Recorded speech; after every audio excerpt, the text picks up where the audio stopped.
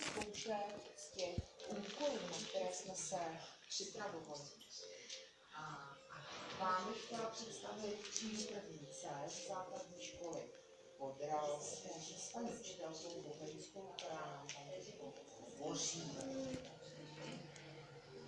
Tak, a teď já bych teda popisala starostu pár slov na začátek. Taky ještě jednou dobrý den, já jsem velice rád, že se s vámi můžu se- setkat v tak významný den, jako je pasování na díře 14.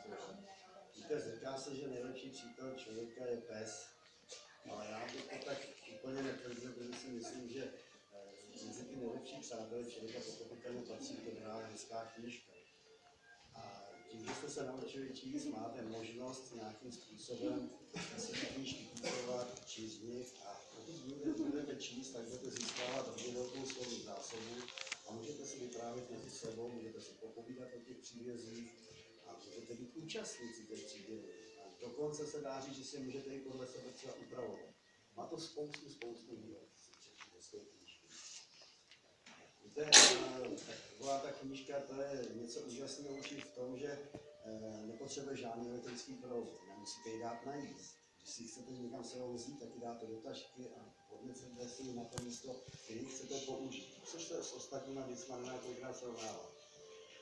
Takže vám přeju, abyste vždycky ve svém životě potkávali jenom samé krásné knížky s krásnými příběhy a hlavně vám přeju jednu takovou zásadní věc. Chovejte se vždycky k těm knížkám, jako kdybyste se chovali třeba ke své mamince, tatínkovi nebo ke svým bratrům a sestrám. Je to prostě krásný člověk rodiny. A jakož se blíží závěr roku, tak bych vám chtěl pochopitelně popřát co nejlepší vysvědčení ve škole. A na ty prázdniny, jako jsem předeslal, si nezapomeňte vzít sebou nějakou hezkou knížku, aby na těch prázdninách, když jste do školy, jste měli co dělat. Pochopitelně dělám přeju, aby aby bylo moc hezky, aby bylo sluníčko a hlavně vám přeju, abyste se z těch prác- prázdnin bez zdraví vrátili a abyste zase mohli přijít do knihovny, potom se podívat. Takže ještě jednou hodně, hodně krásných knížek, hodně, hodně krásných příběhů a hodně, hodně krásných slov. Je to o komunikaci, že vlastně můžete s kýmkoliv se povídat. Takže to vám všechno přeji. Tak, děkujeme.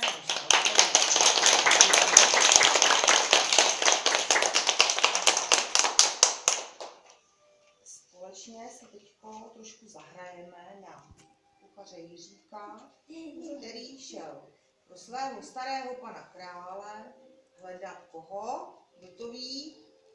Zlatovlasou panu. Neslyšeli jsme? Slyšeli. No a ten Jiřík musel po cestě plnit ty úkoly, je to tak? No a tak my si taky budeme tady plnit ty úkoly. A jestli pak víte, co bude ten první úkol? Trénovali jsme to. Tady rytíř vás vyzkouší z toho, jestli víte svoje jméno a adresu toho, kde bydlíte. Ano? Takže můžeme začít, začít rytíři. Tak, tady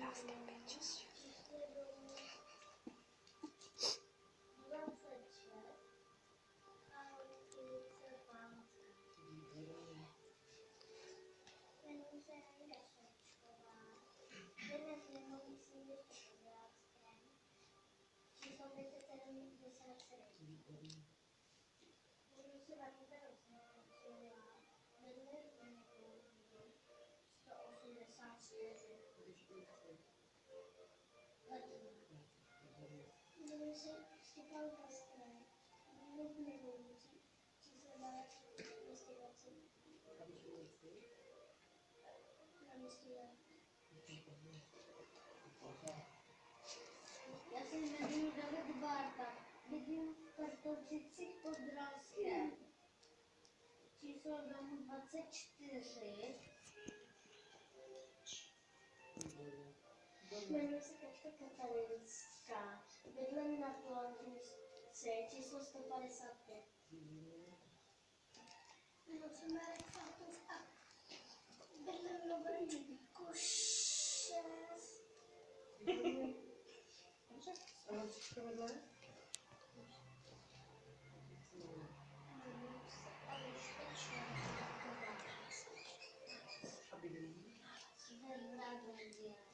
37.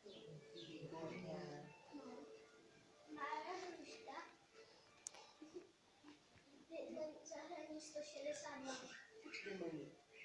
Výborně. Jsem rozsedaná dítě. Číslo 35 nemám. Výborně. A ulici vlastně, víš? Malá. Malá ulice. Já se jmenuji Ivetka Čáková a bydlím v Mimoní na Borečku číslo 5. Výborně. A určitě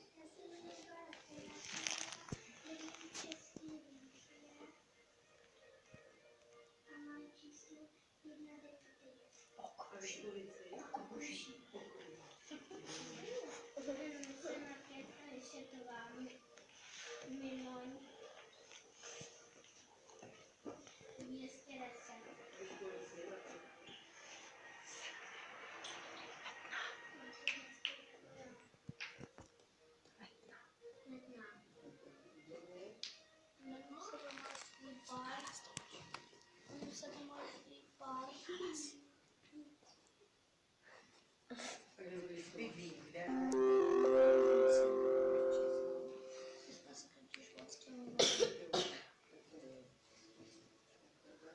Jmenuji se Vojta Bodlák. Já bydlím. Bydlím. Bydlím v Šílišti pod Ralskem. 5, 6, 6. 5, 6, 6. Výborně. Mimo ně bydlíš.